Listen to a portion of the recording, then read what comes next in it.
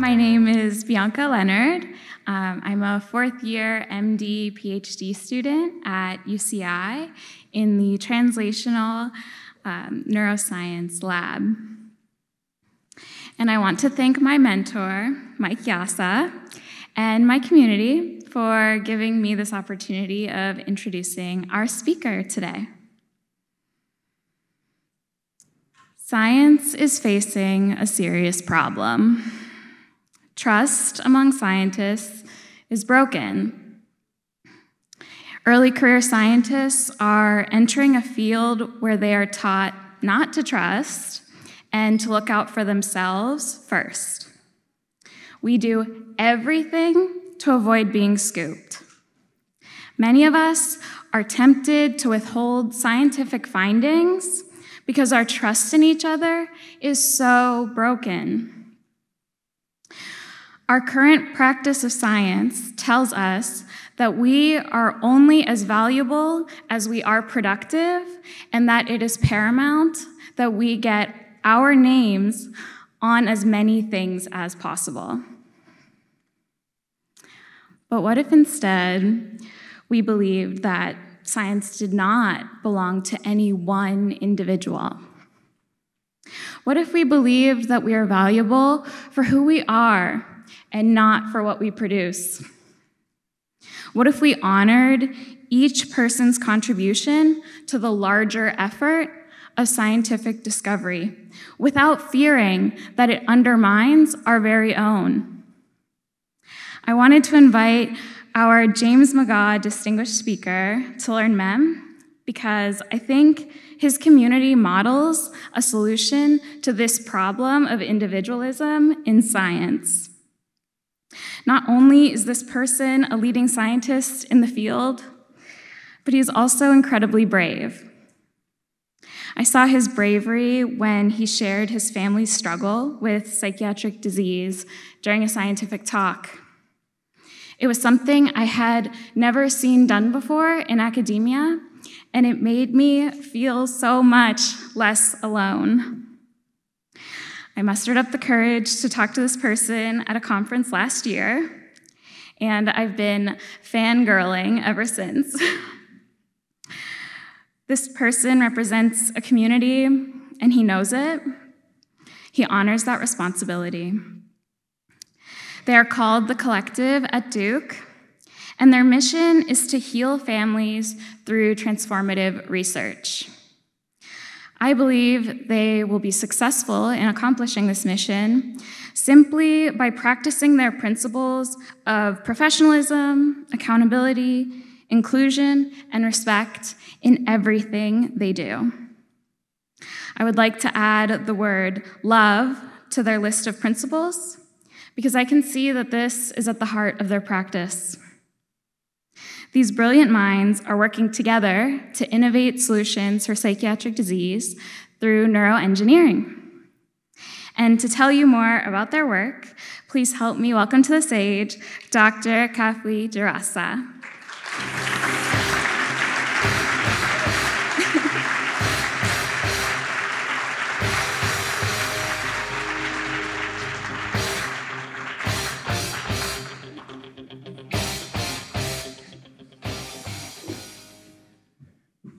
Bianca.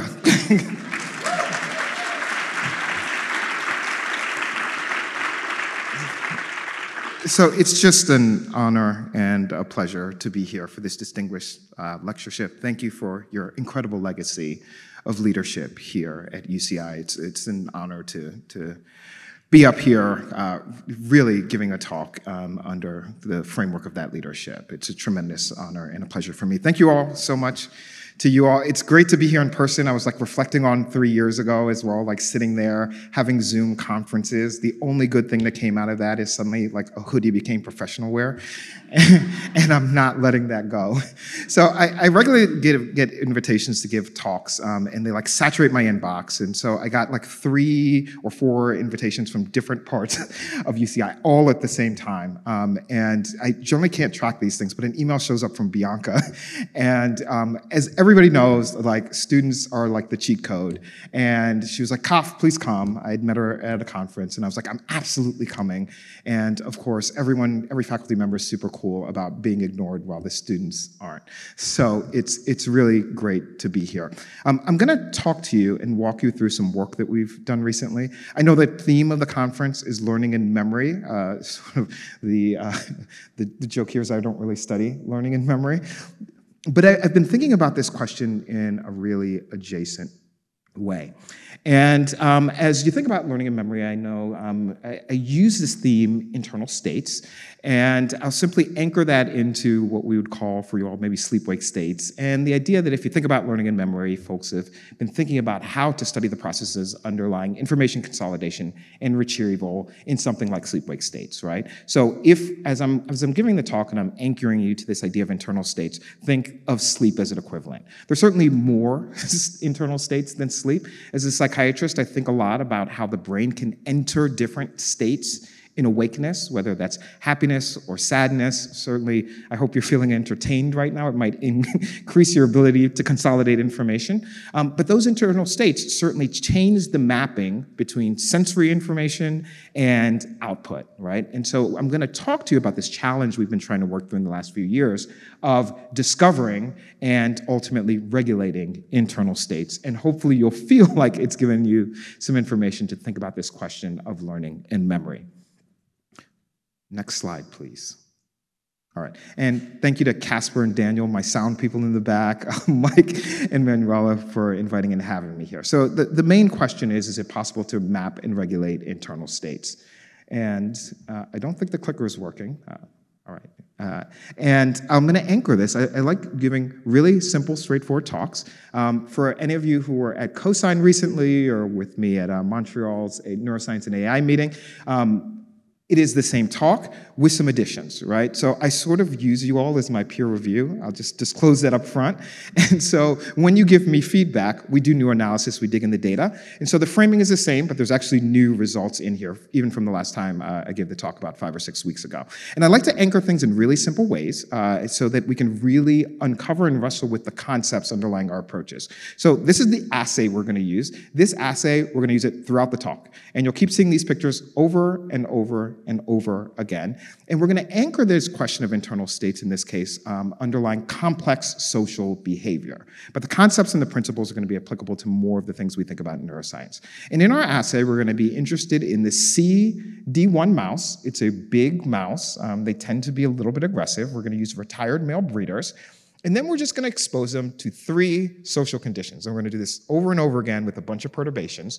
But we're just going to look at how the encoding of these internal states changes under these behaviors, right? We're going to expose it to a male. Um, and when you expose it to a C57 male, the CD1 mouse, our subject mouse, gets aggressive, right? So our internal state is going to be one of aggression. We're going to look at its exposure to a male that's castrated. And so it tends to show more friendly social behavior towards the male. And then we're going to look at those mice when they're exposed to females, and this generates either a friendly or sexually aroused state right? But these are internal states. You can look at the behavioral differences in the animals, but the internal state is present in the brain. We use the output behaviors as a way of determining what internal state the animal's in, but the internal state is there whether or not the animal is exhibiting the external behavior. So that's our anchoring. And what we're going to try to do is figure out how these different internal states are encoded in the animal's brain. Now, next slide. I'm going to put down my clicker because saying next slide is even cooler.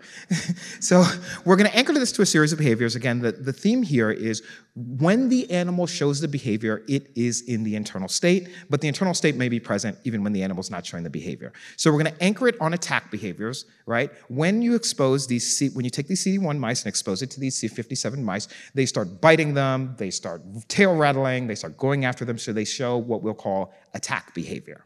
So we're going to anchor one class to attack behavior, and then we're going to say there's also friendly social behavior, which is sort of sniffing and grooming and putting your hands on the other animal without attacking it. And so we're going to try to uncover how does the brain look different when you're exhibiting this set of behaviors, and then ask if that brain state is present around those time periods as well as our way of anchoring and determining what internal states are. And again, I would always conceptually think about sleep, right? You can find the internal state of sleep and the brain processes differently in that internal state. Next slide, please.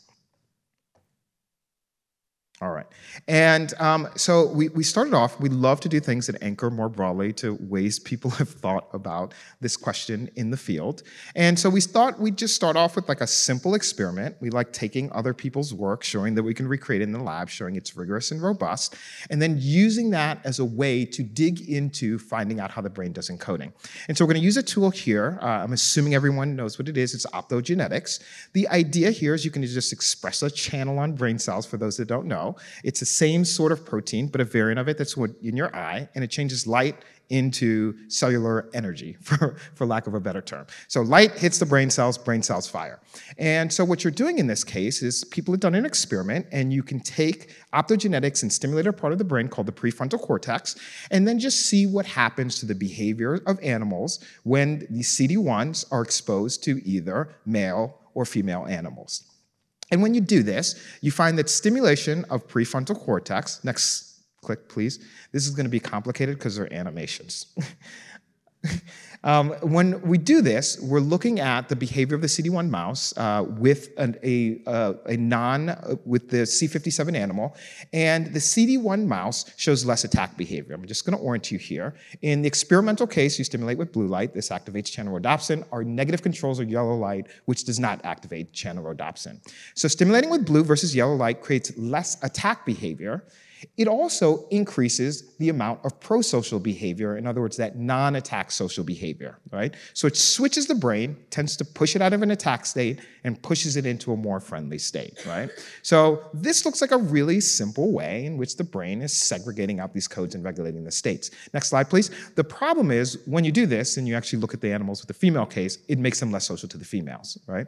So it's pushing them in this weird combination of states where they're less socially like rewarded in some situations, but also less likely to attack the animal. And so it didn't seem like the prefrontal cortex was a great sort of switch or code for distinguishing these states.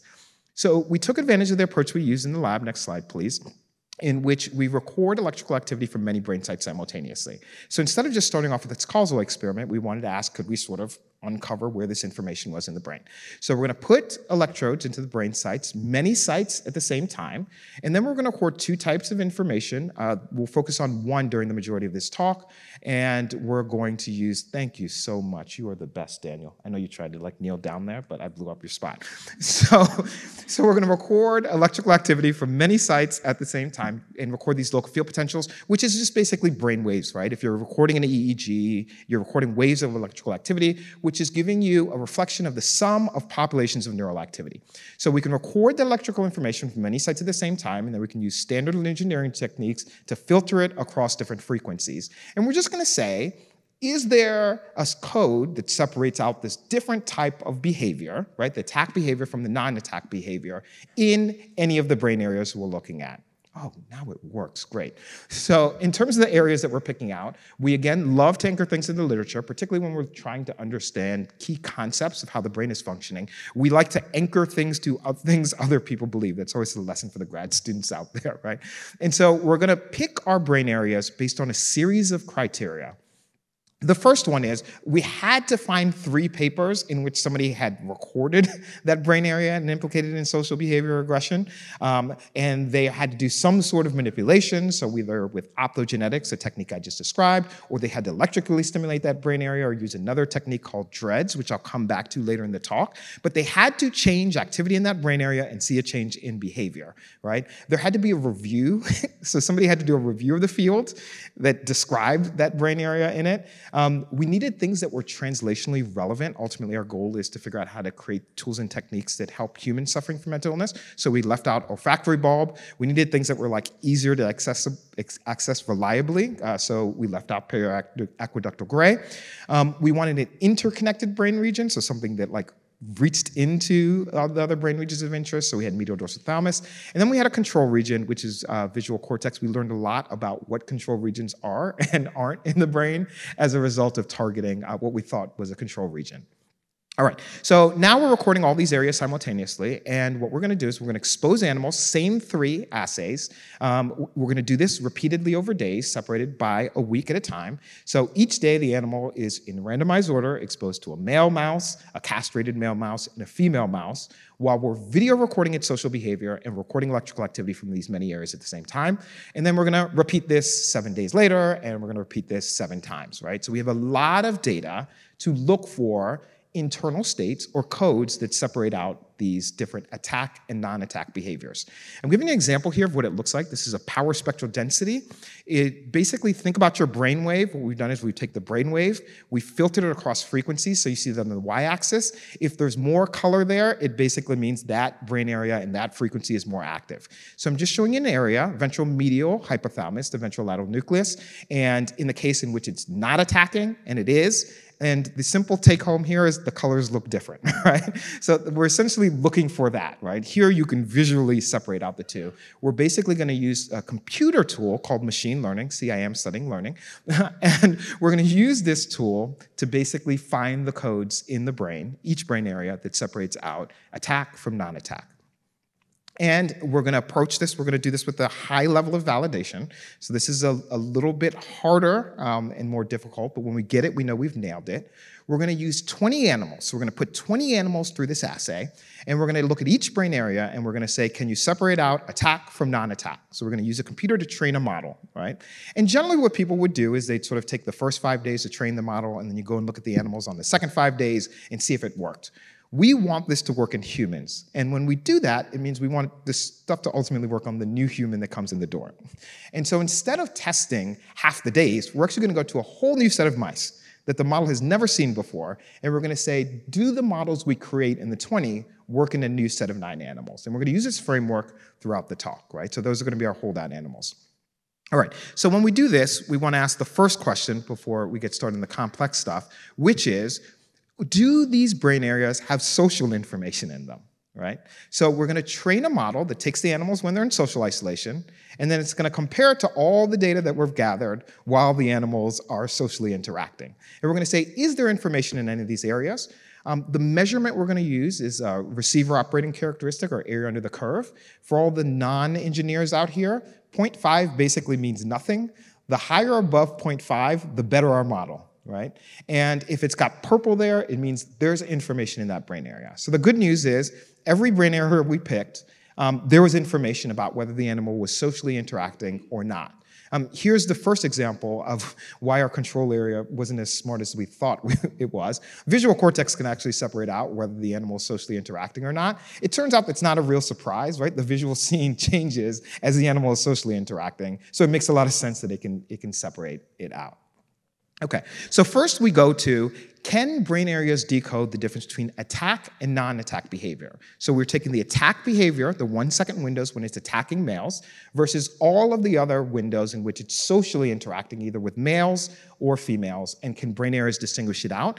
And there are five areas that survive this analysis that we perform. Infralimbic cortex, medial amygdala, lateral habenula, medial dorsal thalamus, and ventral hippocampus. So these five areas seem to be able to decode when the animal's attacking versus when it's not attacking.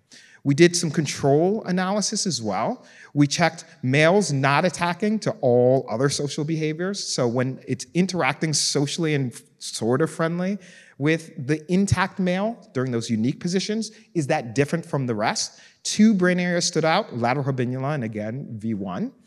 And then finally, we asked about when it's interacting with the female in all of the other brain areas, and none of the areas passed that level of correction as well. So all of this is corrected for multiple comparisons, right? The holdouts, this is tested in a new set of animals, and so this is a really, really, really high level of validation that we've put it through.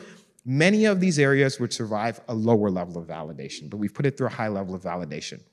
All right, so out of this process, we're really excited. We've got like five really awesome areas that have codes in it that can encode this internal state of whether the animal is attacking or not, right? Now, ultimately, what this means is a little bit more complicated, but we decided before we started digging into the meaning of this to do one additional level of validation. So we thought, hey, if we really nailed this, if we take an entirely new condition that generates attack behavior, we should be able to find it in these areas if they're really encoding a state underlying attack behavior. So we asked if these codes were robust. And we thought of an assay. We could basically take an animal and expose it to a block. So you expose it to a Lego block, which um, does nothing, and it just explores it and investigates it. And then you expose it to another block covered in the urine of a male animal. And in this case, when the animals are exposed to a block covered in the urine of the male animal, they start attacking the block. So we could ask the question do any of these areas encode attack behavior towards the block covered in urine? And so when we go through and we do this, only one area survives, ventral hippocampus. Ironically, it like so survive is a, a um, an interesting word. So it is not statistically significant after multiple comparisons, but it is before. And, and since our goal was ultimately to dig into this and, and figure out what this level was, we decided to hold on to it for now, and I'll show you why we held on to it for now. So put a flag post there, ventral hippocampus, sort of looks like it's going through. It doesn't survive multiple comparisons. But so we're going to try to figure out if we can get an understanding of the brain that is more robust than what we see in the ventral hippocampus. All right, so is this the best code, right? Now, it turns out we can also do something cool since we're recording all these brain areas at the same time. Instead of thinking about them independently, we can ask if there's a shared code that's organized by information across brain areas. So first I told you how you can look at each brain area. We can also ask if these brain areas are synchronizing with each other, right? And part of the engineering principle behind this is things that change together across time tend to lie within the same system. So we can ask if the LFPs or the oscillations of recording from two different brain areas align over time. You can see that in red here, where the peaks tend to align. We call that synchrony, or you hear me use the word, the term coherence.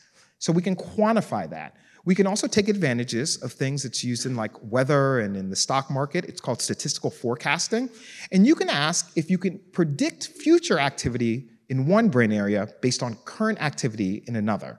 And if you can, you can essentially infer that information is progressing from one brain area to another. You can extract directionality. So in this case, current activity in hippocampus produce, predicts future activity in PFC. We infer that information is moving in that direction. We can also do the other analysis offline and infer that information is moving in the other direction. So now we're capturing an incredible amount of information. Brain areas, information in brain areas, information between brain areas, information across frequencies, and information leading and lagging.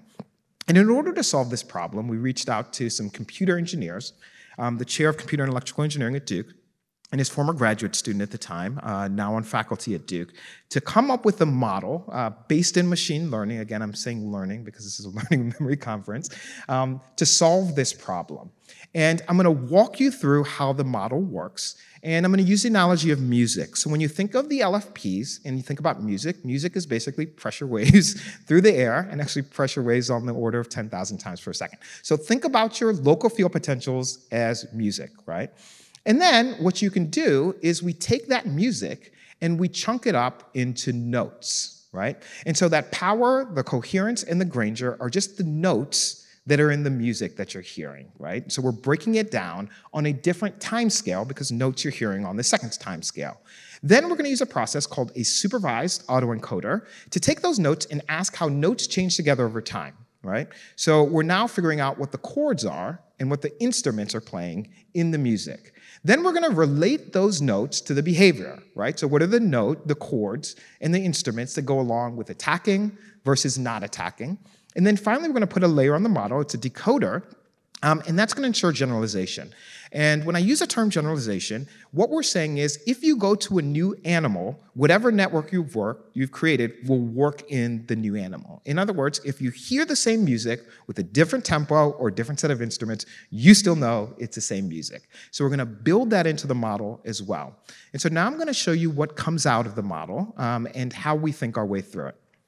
All right, so we're going to take, again, same sort of framework that we use for each of the individual brain areas. We're going to take 20 animals. We're going to put the 20 animals through the statistical framework. We're going to learn a series of what we call networks, and then we're going to ask how well those networks do in predicting information out of a new set of animals.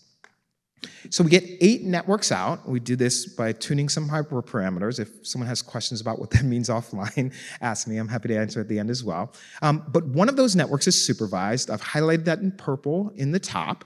And that network does a reasonably good job at separating out attack behavior from not attack behavior. In fact, it does substantially better than the numbers that we saw for ventral hippocampus. But then we wanted to do an interesting test, right? We have, at this point in time, decoded attacking from not attacking, but we could probably do that just by recording muscle activity, right? How do we know that this is actually an internal state, right? We've sort of taken advantage of the fact that behavior comes out of the internal state, but we know the internal state should be present even when the behavior isn't. And this was something we wrestled with in along for a while in the lab. Kareem had some great insights on how we can dig into this. And we actually ultimately came up with this idea. Um, and yeah, this also passed the network validation. But here's the idea we came up with. Um, if you look at the attack behavior and we take the, elect- the activity from the brain, either right before it attacks or right after it attacks, can we tell what state the brain is. In other words, can our model tell us that the animal is about to attack or just attacked, right? And the theme here is if anyone's ever got upset, right? And you know nobody's attacking anybody, but if you do, right when you finish, you're probably still upset, and right before you probably are too, right? So we're going to take the electrical activity in the window surrounding the behavior when the animal isn't engaged in the behavior, and we're going to ask, can we separate out what's going on in the animal's head? So we're going to do this in a couple steps. Um, First, we're going to look at this for the network, and then we're going to look at this for the hippocampus model to see how it holds up. All right, so on the left, what you see is the activity of this network. And there are a couple of really important things to point out. Um, but the activity of this network when the animal's in the home cage in blue, red when it's in, engaged in attack behavior towards the male, green when it's engaged in friendly behavior towards the intact males, and green again when it's exposed, engaged in friendly behavior towards the females, right? So the first thing that comes out of this is the model what it discovered is that there's a network that actually decreases its activity when you engage in attack behavior. So that's not what we were expecting at all. We were expecting the internal state was going to be something like sort of being turned on in the brain. The model says the best way for the brain to decode this state is actually learning a network that sort of turns itself down when attack happens. The other thing that we found extremely fascinating is we pulled out a bit and we said, well, I mean, if this is really an internal state that's like related to how much attack behavior and aggression the animal shows, we should be able to look in the home cage and it should tell us about the individual behavior of an animal. So what you're seeing on the right is how much time each animal spends on average attacking another animal in the future when you put it in the assay and how much this network is present when the animal's in its home cage, right? And that relationship actually still holds up when the animal's in its home cage, uh, when it's not around another animal at all. And again, you see this relationship that the lower the activity of this network, the more innate aggressiveness that the animal has, right? You can now look at this at the hippocampal model. So this is the one that I said didn't hold up as well, and I'm just showing you this by comparison. Um, again, this did not survive multiple corrections, but I think it's really important to show what you can get out of individual brain area. Um, I'm now showing it the home cage in blue, in red the aggression, in green the two, uh, the two conditions in which the animals engage in social behavior. And the reason this decodes is it can tell the difference between when you're attacking a male or being friendly with a male, but it doesn't actually work in any other scenario, right? So it can't actually tell the difference when you're by yourself and when you're engaged in attack behavior, right? So there's captured information based on the way we train the model, but it doesn't really hold up to explain attack versus not attack. And more importantly, when you look at the animals in the home cage, there is no prediction or information there whatsoever about how innately the aggressive, uh, the aggressiveness of the animal is. So we think using this network model, we've now figured out how to capture the internal state of an animal relative to aggressive behavior. All right, now I'm gonna show you what the network looks like. I always apologize before I do this. I hate complicated slides. Kareem's gonna go back to the lab, tell everybody I put a complicated slide up, and he's gonna think that he's allowed to do this in talks as well. You're not. So what I'm explaining here is what's going on in each brain area. This is actually more like what the primary data looks like. Across the diagonal, you see activity in each brain area, and it's basically just a power spectral density. There's a lot of information here, but it's showing you the network is composed of information at different frequencies, and that's what you see across the diagonal. At the off diagonals, at the intersection between a brain area listed on the, list on the left and listed on the top, um, you see them synchronizing And when they synchronize, you see a red plot, a red line there that says what leads and what lags, right? So that's I like showing what the data actually looks like. The visualization is on the bottom right. so around the circle, you see each of the brain areas. The tire of the wheel, if you see color in the tire of the wheel, it means that brain area and that frequency contributes to the chord that's being played. And if you see spokes of the wheel, it means that those two brain areas synchronize. So you'll only see plots like those on the bottom uh, of left going forward, but that's the chord that is playing or not playing. That's the chord that's essentially turned down when the animal goes into an aggressive uh, internal state. All right. So this is what it looks like, and where we can also extract directionality out of this. So for each of the lines that synchronize, remember we're also extracting how information is flowing through the network, and so we can quantify the number of interactions that are leading, and that's on the top, versus those that are lagging, they're at the bottom. And so you see the construction of how information at a millisecond time scale is flowing through this network. Here's the summary of that. We've just sort of like, we connect all the lines and then it's sort of like Rubik's Cube where you untwist the lines into a structure that looks like this. Um, but it's basically organized such that the information, there's a lot of information in orbital frontal cortex in V1, the downstream areas are medial amygdala, ventral hippocampus, and uh, infralimbic and prelimbic cortex. But this is how information is flowing through this. Again, this all comes out of a computational model, right? And so what we wanted to do is spend a little bit of time digging into whether this is a really cool math solution um, or whether this anchors into neurobiology in any way that we should trust and believe what we're seeing. And so we're going to go through a series of steps that we call validation. And the idea here is that we just want to anchor this to neurobiology. I'm going to skip, um, unless anyone has questions about how we make sure that when the chords and the activity in the network's going up and down, that it matches cellular firing. I'm going to tell you that it does. Um, it's not only cellular firing in a region, it's cellular firing across the distribution of the brain. We've seen this across multiple networks, but I'll skip that section of the talk uh, just to really hone in on what the, the the relationship is between other uh, aspects of neurobiological validation. All right, so we're going to try to do two things. Um, we are going to validate uh, the relationship of the network to behavior um, we're going to try to do this in a way that includes cellular manipulations, because we neuroscientists love causal cellular manipulations. And we're going to try to do it in a way that's bidirectional, right? So we're going to try to turn this, net, do something that increases aggressive behavior and see if it increases activity in the network. We're going to do something that tries to decrease aggressive behavior, see if that changes uh, the network in a different direction, right? And that's how we're going to go after this. All right. So I mentioned uh, when I was orienting you to the brain areas that we picked that we uh, there's a tool called DREADS what basically happens with DREADS is you just express a G protein coupled receptor on a cell. Um, that G protein coupled receptor essentially does nothing until you give it a otherwise inert compound. Let's just assume that it's inert for now.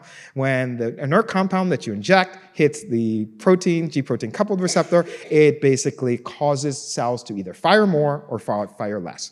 And we're going to mirror studies that have been done by some other scientists targeting a brain area in our network that has been validated in aggressive attack behavior, in sexual behavior as well. And that area is, again, ventral medial hypothalamus, the ventrolateral nucleus.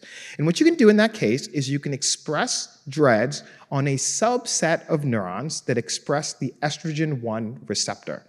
And when you do that, you can actually make the mice show a really interesting behavior. So as I mentioned, under normal situations, if you take these mice and you expose them to a female, they show otherwise friendly social behavior, or sexual behavior.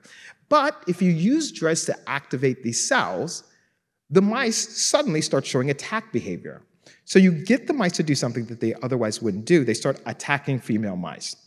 So we wanted to ask a couple of simple questions. One, could we actually repeat this and get these animals to attack um, another set of animals? And two, how would the network behave in response to this specific cell type, specific cellular uh, manipulation? All right, so what we're gonna do is we're gonna take our CD1 mice, we're gonna cross it uh, with ESR1 Cree mice. This also gives us a unique opportunity to test whether our network models um, operate in mice on a different back genetic background, right? Because now we're gonna do a mixed strain background. We're gonna wait for those DREADS to express, we're gonna implant those animals with electrodes, and then we're gonna test them either with CNO, which activates the receptor, or saline, which does not. And just showing you here, uh, this is just simply looking at behavior. Uh, when you give these mice uh, CNO versus saline, they absolutely attack female mice, right? So just validating that result that we previously saw. All right, and then we're just gonna ask, how does the animal's brain network activity respond when it's on saline or CNO? I'm just showing you the network activity levels normalized to what you see in the home cage, so you can see the clear relationships between the saline and the CNO condition. So when we give animals CNO, compared to when we give them saline, we're just looking at time periods where it's interacting with the female, the network activity absolutely goes down. So again, the attack or aggressive behavior is emerging when you're sort of turning down this network, uh, that's sort of cortex on down. All right, and then we're gonna ask the same question, what happens in these windows, right? Because again, this might just be behavior. We could probably figure this out just by recording muscle activity.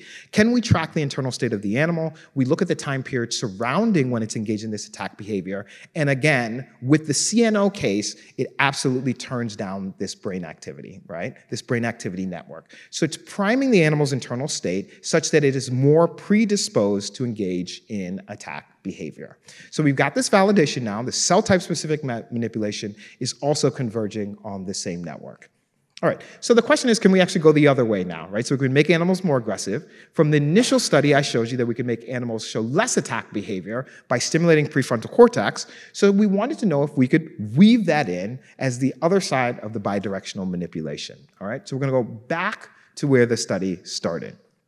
And we're going to play around with this. Um, we got we got really uh, we sometimes do the most, and so we've got a bunch of engineers in the lab, and we wanted to see if not only we could stimulate pre prefrontal cortex and what happened, we wanted to actually go a little bit further and say if we stimulated prefrontal cortex specifically when the network activity was going down. In other words, this this this thing that prevented attack was sort of being turned down, um, could we prevent the animals from attacking? And so we came up with a system to do this. What we're essentially going to do is we're going to take our computational model, we're going to implant in animals with a set of electrodes, and we're going to put optogenetic stimulators in there. And then in real time, we're going to record information from the animal's brains, figure out what internal state they're in, and when their brain transitions into the attack state, that's when we're going to stimulate a prefrontal cortex. And we're going to put in one pulse for a second, just when the animal's brain is transitioning in, and then we're going to turn it off, right? So we're just like a really high level of validation using this closed loop approach. And what I'm showing you here is our experimental group again with channel rhodopsin. We're using blue light. Our, our negative control is yellow light. And I'm just orienting you to what the network activity looks like. And there are a couple things I want you to see here. And as you transition from negative three seconds to negative two seconds, this is like time to when the light goes off, you see that the network activity drops in the blue and the yellow case, right? So what we're showing you from this is that we can indeed detect as the network activity is dropping in real time, it can pick that up, right? And in the blue case, the light goes off, the blue light goes off versus yellow case, the network activity shoots up in the blue case, right? So in other words, when you stimulate with blue light, we are acutely increasing the activity of the network, right? So network goes down as you're transitioning into an attack state. Blue light causes it to come back up. So the engineering part of this closed loop stimulation, in theory, works. All right, so then we're gonna ask what happens and how selective it is. The light turns on, we've got some, we've got it tuned fairly well, right? So it turns on, it's much more selective for the, the male conditions. It goes off much more than under the female conditions. Um, it's not perfect, our engineering is not perfect, so I'll say that up front. Um, but it does allow us to get a degree of selectivity such that this is preferring um, the, the state of the male, um, attacking the male. And so we're going to ask now what happens behaviorally when we run this closed loop stimulation system. And we look, and indeed, we can get decreased attack behavior under the blue light stimulation case versus the yellow light stimulation case. So this is what we were hoping to achieve. And we wanted to then ask, well, is this selective for the type of social behavior? So you look at the periods in which it's not attacking the males, it tends to increase attack behavior. There's like that one little stubborn mouse that we're just not going to remove um, because you don't do stuff like this, young scientists. Um, it tends to increase the amount of social uh, interaction it has, uh, friendly social interaction with an intact male, and it does not change the interaction with females, right? So it is now it now doesn't have that off-target effect that we saw with the open loop stimulation case. All right, so we've got this internal state, right? Um, we started talking to people, and we came up with this, like, we kept running up against this question, which is, well, how do you know the network is causal? How do you know this is not just like correlated? And as we talked about it, you know, my lab is pretty multidisciplinary. We realized we didn't really have a great way to answer that, right? We were like, well, how does anyone know that sleep is causal for all these things coming out? Because, like, what anchoring is there to really talk about how an internal state may or may not be causal? I'm not sure that language really um, exists. And so we got into a really cool discussion in the lab, and most of our cool discussions end up with in other fields of science. And we ended up in psychology, in which there's a, set of analysis that had, you know, it's been around since the 80s called mediation analysis, right? And I thought this was pretty intriguing because we rarely apply this type of framework to when we're thinking about doing causal studies um, in the brain and linking cell type specific activity to behavior. But the idea is that you have an independent variable, in this case, like stimulating cells in prefrontal cortex, which we absolutely know is happening. And then we have something coming out of the other end. Um, in one case, we have behavior coming out of the end. We're, we're suppressing attack behavior. But then we're also observing the network, which we also know stimulating the cells causally will change the behavior in the network. And the way this sort of the mediation analysis works in the field of psychology is when you have an independent variable and a dependent variable, you can ask if some other observed variable is what they call the mediator right? In other words, does activity or some sort of change that's happening in that third variable, is it part of the contributing effect to what you see downstream? So we did some initial, we're still working the way our, our way all the through all the way through this. So if you all have any thoughts at the end, um, please share them. But we did some additional uh, original mediation analysis, and here's the model that we're essentially looking at. PFC stimulation, we know PFC stimulation is changing activity in our network. We know PFC stimulation is changing attack behavior, and both of these things we could show with statistical significance using classic statistics that this was present. And we essentially put this model through mediation analysis, and it said, indeed, part of what we were observing was being mediated through this internal state, this measured network state. So we're still thinking about how to develop a conceptual framework around this, but we think this is ultimately going to allow us to anchor how you think about internal states being a critical part of behavior emerging the other end. All right, so I'll end here with a couple of controls um, that we did because it occurred to us that when you're doing closed loop stimulation, you're not stimulating constantly. You're sort of stimulating pulse, wait, pulse, wait, and you get this like really sort of brain organized pattern of stimulation. And so we want to know, well, is, is the reason why we're seeing this selective behavioral effect just because of this like pattern of stimulation that we're uniquely driving during the closed loop stimulation paradigm? So we came up with a control experiment in which instead of doing the closed loop experiment, what we're going to do is take all of the data we recorded in the closed loop case and just play it into another animal right? So we take the pattern of stimulation that we generate in our closed loop animal and just pair it and stimulate a new animal, essentially using another animal's brain activity pattern. And when we do this, what we see is that we have no effect whatsoever on suppressing attack behavior. So it's not just the pattern, the pattern actually has to be stimulated with a timing to the internal state of the new animal. Okay, and some final controls because I'm a clinician um, and I think about translation. There's some really important neuroscience principles here. Um, we went back and looked at our original um, optogenetic stimulation in which we were just doing 20 hertz fixed pattern stimulation, the one that decreased aggressive behavior, but also decreased behavior towards the females and castrated males. Um, we wanted to know, like, like what was actually going on with the animal that was showing this striking uh, pan decrease in uh, social behavior. And what were we doing to it? Its general internal state uh, that mediates orientation towards other animals. And it turns out it was making the animal hyperactive, right? So the animals were just like running around more, and suddenly they were much more oriented towards everything going on in the box and in the world than they were the other mouse in front of them.